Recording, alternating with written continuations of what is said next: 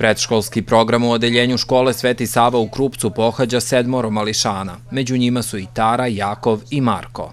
Igramo se sa seglačke, evo tamo imamo autiće. Lepo mi je. Koja je tebi omiljena igračka? Plastelina. Sa plasti... Šta sve praviš plastelinom?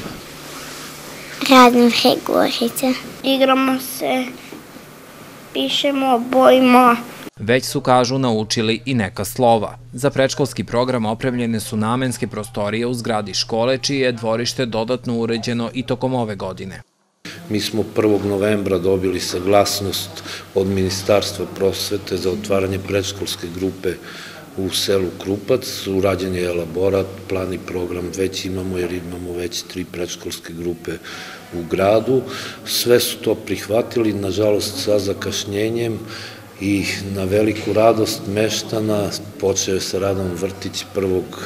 novembra. Ja sam na poziv roditelja i direktora škole obišao ovu predškolsku ustanovu, odnosno odeljenje, jer smo se početkom školske godine dogovarali da u Krupcu otvorimo predškolsko odeljenje, da bi deca mogla u boljim uslovima i bliže svojim domovima da pohađaju vrtić, a i da bi, da tako kažem, regrutovali nove đake prvake za sledeću godinu.